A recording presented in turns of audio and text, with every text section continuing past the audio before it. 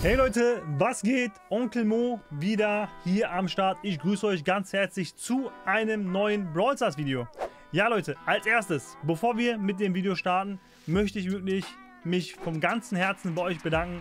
Die letzten Videos, die Likes, die auf den Videos waren, Wahnsinn. Ich bedanke mich ganz herzlich. Deswegen auf dem Video braucht ihr keine Likes dazulassen. Ich küsse eure Herzen. Kuss geht schon mal raus an alle, die wirklich in den letzten Tagen die Videos supportet haben. Gute Aufrufe, gute Likes, gute Watchtime. Mehr, mehr kann ich nicht verlangen. Kuss. Vielen lieben Dank dafür. So, Leute, folgende Geschichte. Thema heute in diesem Video ist, äh, wir haben in Brawl Stars Seltenheiten, ja, wir haben einmal, okay, Shelly ist der erste Brawler, aber wir werden Shelly zu der Seltenheit selten äh, hinzufügen. Unser Cutter kann mal wieder so ein Foto oder quasi so ein Pfeil machen wo das steht. Ja, wir haben also, man kann es auch an den Farben erkennen. So, grüne Farben. Dann haben wir super selten, haben blaue Farben. Epic, das ist, Luki, das ist, was ist das? Das ist lila, ne? By the way, Luki ist da, Leute. Das ist lila. Äh, Leute, Luki, krass, 110.000 Luki. By the way, ich grüße dich, hallo. Hallo. Dann haben wir mythisch, die sind im Hintergrund rot. Und dann, kennt ihr es, haben wir die legendären. Die sind gold oder gelb, keine Ahnung. Und für jede Kategorie, oder für, Entschuldigung, für jede Seltenheit, haben wir uns zwei Brawler ausgesucht. Wer sind die besten Brawler für jede Seltenheit, die zwei besten, ja. Ich habe mir eure Kommentare durchgelesen. Ich bedanke mich wirklich bei jedem vom ganzen Herzen. Eure Kommentare so gut. Ich denke mir manchmal, ey, wow, die haben echt was drauf, so wie die denken. Sehr interessant, ja, gefällt mir sehr. Schreibt eure Gedanken, eure Rangliste. Wenn ihr sagt, Luki hat keine Ahnung, der hat nur gute Mechanik, der kann nur gut dodgen, der hat nur einen guten Ping, das war's, ja. Deswegen ist er so gut. Äh, der hat schon einen Plan, das stimmt. Schreibt es bitte in die Kommentare, würde ich mich wirklich sehr freuen. Freue mich über positives Feedback und negatives. Luki war ein bisschen angeschlagen, Leute. Ihr hört es an seiner Stimme, er ist wieder da.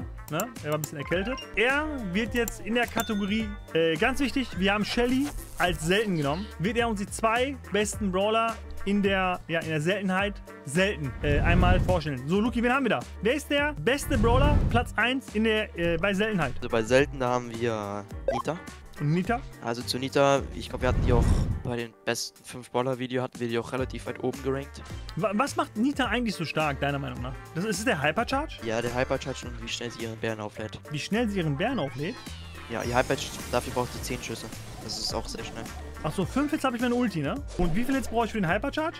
Ich glaube, müssten 10 sein, ja. 10. 10. Und äh, äh, Nita hat ja auch Flächenschaden, ne? Wichtig, ne? Und sie ist sehr gut gegen Tanks. Ja. Okay, sehr interessant. Äh, wie spielen wir nochmal Nita? Welche Gears, welche Star Power? Also Gadget, äh, kann man beide eigentlich spielen, aber ich finde meistens doch das Schild cooler. Als Gears würde ich Speed und Damage spielen meistens, außer wenn es halt kein Gebüsch gibt, dann würde ich Schild und Damage natürlich spielen. Star Power? Würde ich immer diese Heal Star Power spielen, also die erste, außer in Tresorraub, da würde ich die zweite spielen. Also nur in Tresorraub die zweite Star Power, sonst immer Heal Star Power, korrekt? Genau. Hm. Nita ist der beste Brawler in der Seltenheit selten. Wer ist der zweitbeste Brawler, Luki? Der zweitbeste Brawler ist Shelly. Shelly, okay, krass.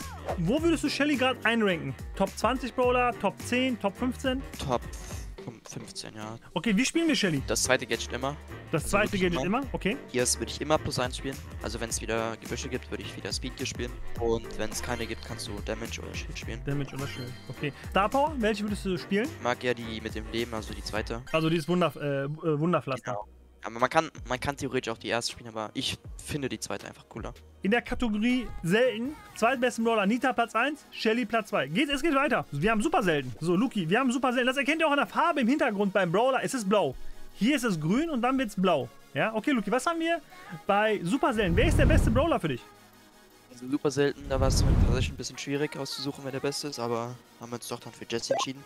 Okay, Jesse? Jesse, ähm, ist einfach generell sehr stark, sobald sie ihr Trade auf dem Feld hat. Ja. Gegen wen ist Jesse schlecht? Gegen wen ist Jesse schlecht? Gegen Werfer auf jeden Fall. Und gegen, gegen Werfer auf jeden Fall, okay. Ja, und gegen Sniper wahrscheinlich gegen auch. Sniper. Okay. Ja. Aber Jessys Hyperchart ist schon gut, ne? Ja, ist schon böse. Kann man gut dann äh, Kills damit machen. Ja, ist schon böse.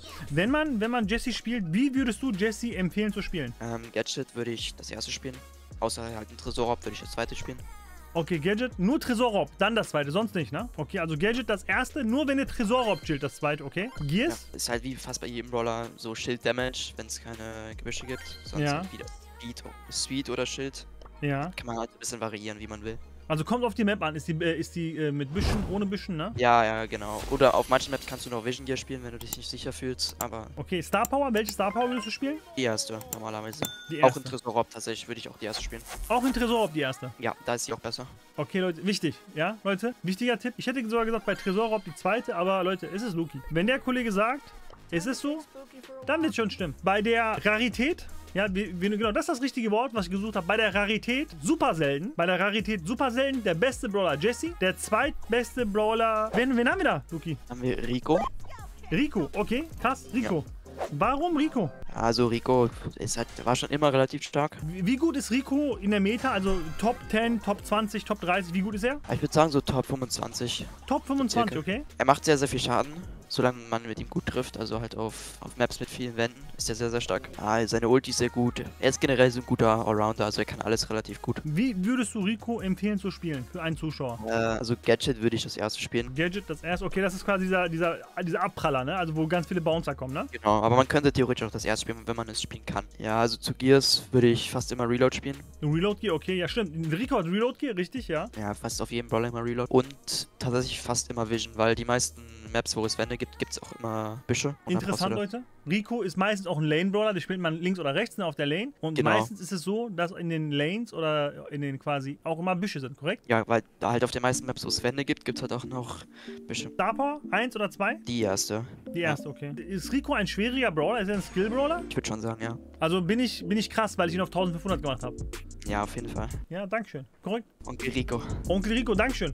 Leute, muss man auch mal von einem krassen Spieler hören. Rico haben wir auf 1500 gepusht. Wenn du das Video nicht gesehen hast, kann mein Cutter versuchen, es zu verlinken oder er macht es in die Beschreibung rein. War ein cooles Video, waren echt nice Games. Äh, okay, Rico auf Platz 2 bei der Rarität super selten. Wenn du sagst, Luki hat keine Ahnung, schreib's in die Kommentare. Sag, was du für ein Ranking machen würdest. Würde ich mich freuen. Es geht weiter. Ihr seht es im Hintergrund, die Farbe ändert sich. Es wird äh, pink. So, Ja. äh, es wird epic. Da haben wir echt viele Brawler. Da haben wir echt viele Brawler, aber das war echt easy für Luki. Der hatte sofort schnell die Antworten. Luki, wen haben wir da? Wer ist der beste Brawler in der Seltenheit oder in der Rarität? Epic. Ja, also wie du schon gerade gesagt hast, Angelo, der letzte Brawler. Okay. Ja, Leute, Angelo ist, Angelo ist echt krass. Ja, Angelo. Der beste Brawler am Spiel, muss man nicht Ich habe ein. Video gemacht mit, mit äh, Yoshi und mit Linane. Weißt du, was Linane mir gesagt hat? Warum äh, Angelo so gut ist? Weil Was? er ein sehr schnelles Bewegungstempo hat als Sniper. Das macht Ja, ihn so OP. Das hast du aber auch gesagt, ne? Er kann wirklich sich Genau. schnell bewegen, schnell dodgen. Ja, weil er so schnell ist. Angelo. Also ist der beste Brawler in der Kategorie äh, Epic. Luki, wie spielen wir Angelo? Wie würdest du Angelo spielen? Ah, Also an Angelo ist eigentlich fast alles gut. Also beide Gadgets sind gut tatsächlich. Ich finde ich find aber den Jump immer ein bisschen angenehmer, weil ich finde es immer so ein bisschen safer, wenn man nochmal zurückjumpen kann und sich hochrennen kann. Ja, vor allem wenn man so irgendwie Gem Carrier spielt, ne? Genau, ja, du spielst dann halt meistens halt auf Ju Juwelenjagd ist das halt sehr, sehr gut, deswegen da immer Jump, weil du brauchst die Juwelen halt. Ja, man kann das auch das Durchschuss-Gadget spielen, gegen so Brawler wie halt so Charlie, die halt diese Spinnen haben. Ja. Wenn du dann halt drei Schüsse brauchst, brauchst du dann halt nur einen Schuss und das hilft dir halt extrem dann. Äh, Ja. Wie sieht's mit Gears aus? Ah, ist eigentlich jedes Gear fast gut. Also man kann auch plus eins spielen auf ihn, aber sonst würde ich fast immer Shield spielen, weil er ist ja ein Sniper, er hat wenig Leben, er braucht Ja. äh, viel Leben. Okay. Deswegen Shield fast immer. Und dann kann man sich aussuchen zwischen Damage und plus eins. Und Star Power eigentlich immer die erste, ne? Genau, immer die erste. Immer. Nur halt, wenn da viel Wasser ist, dann die zweite, glaube ich. Ne? Sonst nicht. Selbst Und- dann, selbst dann finde ich die erste cooler, weil du kannst halt während du eine Ulti platzierst einfach weiter schießen. ja, das ist und echt das- heftig. Ja, ja, das stimmt. Das der ist, zweiten- das ist echt geht mit stark. der zweiten halt einfach nicht. Du musst dich einfach erstmal hochfallen. Angelo, der beste Brawler in der Kategorie Epic. So, Luki, wen haben wir auf Platz 2? Larry und Lori. Larry und Lori.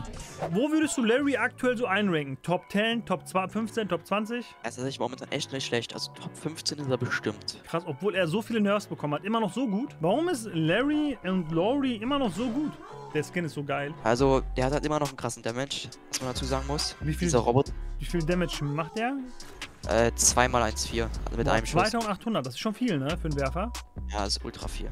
Und das Problem ist ja auch, er, seine Schüsse sind sehr, sehr einfach zu treffen. Er hat eine gute Hitbox, ne? Mit der Wir Ulti können- ist er halt sehr, sehr gut gegen Tanks noch zusätzlich. Larry macht auch voll Spaß zu spielen, finde ich persönlich. Äh, wie, wie spielen wir Larry, Luki? Also Gadget immer das zweite. Also Gadget wirklich immer das zweite, okay. Gears, aber ich würde fast immer Shield Damage spielen, weil auf den meisten Werfer-Maps Shield Damage einfach. Star Power? Kann man beide spielen. Ich finde, die zweite finde ich cooler gegen Tanks, also gegen Brawler mit viel Leben, weil du da einfach diesen Roboter einfach spammen kannst und dann hast du ultra, also hast du fast unendlich Schüsse. Und so gegen Brawler, wo du weißt, dass dein Roboter nicht viel machen wird, also so Kontroll-Brawler, da würde ich dann meistens die erste Star Power gehen, damit du mehr, Le äh, mehr Leben hast für dich selber. Zweites Gear, also wir haben Damage und was würdest du als zweites Gear nehmen? Schild? Damage Shield. Damage ja. Der Skin ist aber geil, ne, Luki? Ja, der ist schon cool. Ich habe den leider nicht. Okay, Leute. Äh, bester Brawler in der Rarität Epic. Platz 1 Angelo. Platz 2 Larry. So, jetzt kommen wir zu der Kategorie mythisch. So, okay, Luki, wen haben wir da auf Platz 1? Ja, mehr Melody, natürlich. Der zweitbeste Brawler im Spiel. Boah, Melody ist echt gut, ja, Melody. Leute, Melody, ich muss Melody nicht erklären. Sie ist krass. Denkst du, sie wird verschlechtert bei dem nächsten Update? Ja, und ich denke Angelo auch. Beide auf jeden Fall. Beide auf jeden Fall, okay. Also, wenn ihr Melody noch nicht gepusht habt, pushen. So, Luki, wen haben wir auf Platz 2? In der Rarität mythisch. Wer ist der zweitbeste Brawler für dich? Da haben wir Max. Max, krass. Max ist auch so gut gerade, ne? Ja, das ist sehr gut. Aber auch nur Ja. wegen dem Hypercharge. Krass. Also sagst du, wenn Max diesen Hypercharge nicht hätte, wäre er kein Top 5 Brawler? Äh, momentan wahrscheinlich nicht, nee. Was einfach so ein Hypercharge ausmacht, ne?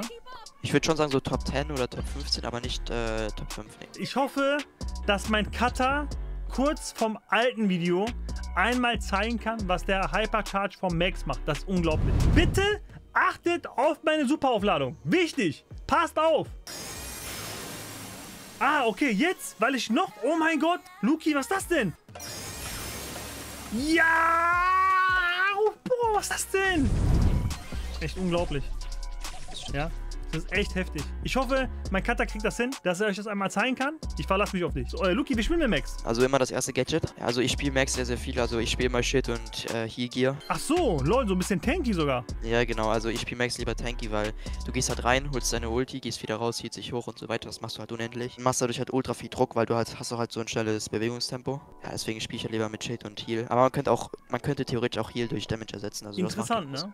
Und Star Power, welche spielst du gerne? Also ich würde die zweite immer spielen, außer in Knockout, da spiele ich die erste.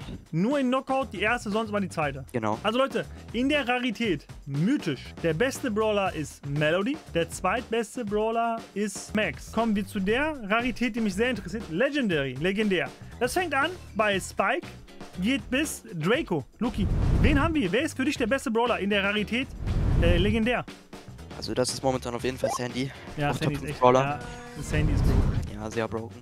Leute, Sandy muss ich auch nicht erklären. Guckt euch das Video an. Mein Cutter kann es hoffentlich in die Be- Beschreibung reintun. Die fünf besten Brawler. Sandy ist heftig gut. Wenn du gegen eine Sandy spielst und ihr habt keine Sandy, ist total unangenehm.